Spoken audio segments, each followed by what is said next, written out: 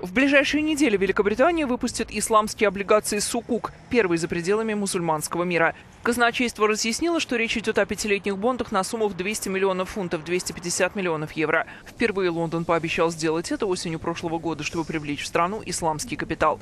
Особенность в том, что ислам запрещает взимание процентов, поэтому сукук обеспечиваются реальными активами, в данном случае принадлежащей правительству недвижимостью. А инвестор получает доход уже с нее, а не с бонда как такового. По оценкам экспертов, через три года этот рынок будет оцениваться в 2 триллиона евро.